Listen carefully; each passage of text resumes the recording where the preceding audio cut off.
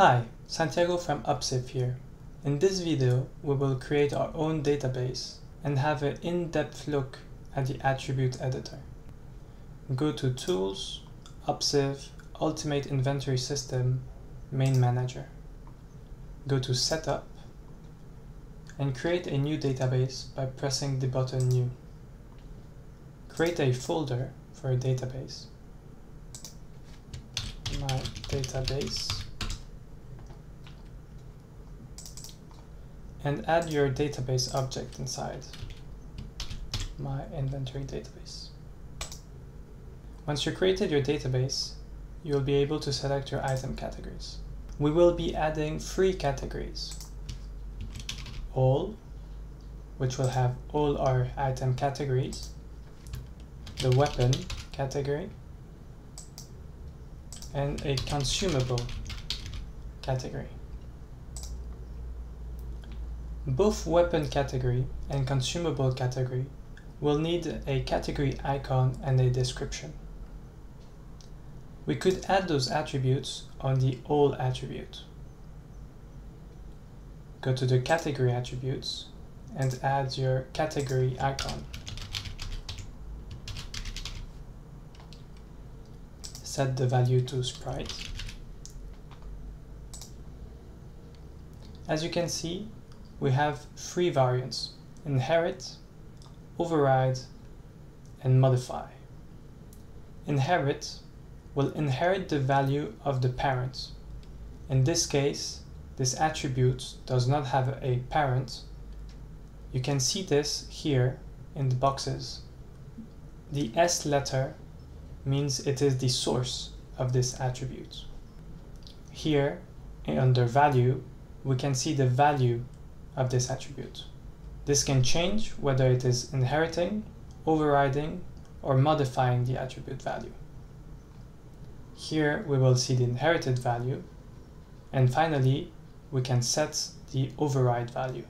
In the, in the case of all, we'll set the value of default icon.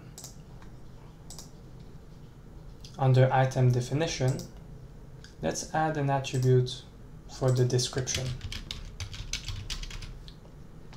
We'll set it to string. We set the description under the item definition attributes because we want to specify one for each item definition. Let's add a default value of this description is not set. Let's go to the consumable item category. Let's add the parent to the old category. As you can see, the default value will be the inherited value. It is the same for the description. We can override this value by writing an override value. This is a description for a consumable. We can also add item attributes if we wish to. For now, let's add a second item definition attribute called heal amount.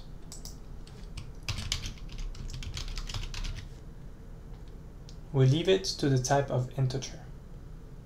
Let's go to weapon and add a attack attribute under the items. Item attributes can be modified at runtime or within the editor for each item uniquely. Let's add a default value of 5. Let's not forget to add the parent to the all category. This way, it will inherit the description and the category icon attributes. Let's now create some definitions for our categories. Let's add a sort item definition, a sword plus one definition, a potion, and a big potion.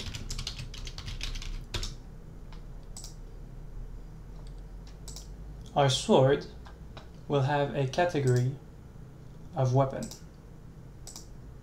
As you set the category, the attributes will be automatically added to the item definition.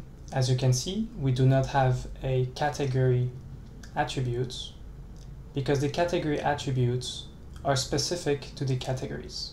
We can set the item definition attribute for the description.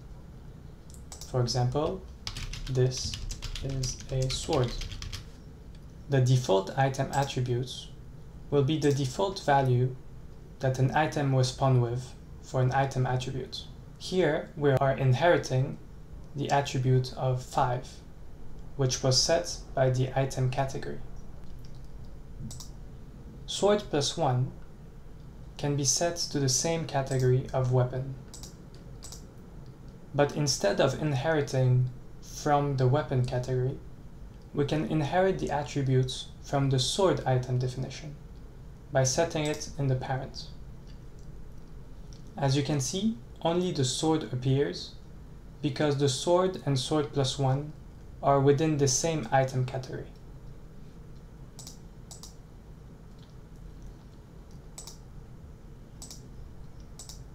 As you can see, we are now inheriting a value of 5. We can see that we are inheriting from the item definition because of the I letter in this box. We can click on the box to find the object we are inheriting from. If we change this value to a new value of 10, for example, sword plus 1 will inherit this new value automatically. Of course, we can override this value if we wish to. We can do the same for the item definition attributes.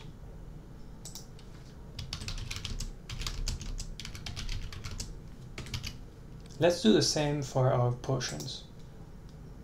Set the consumable category and the heal amount of 5.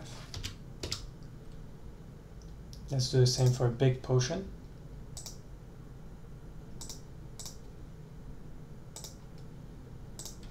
And give it a value of 10. There you go, you've set up a new database. But what about sword plus 1?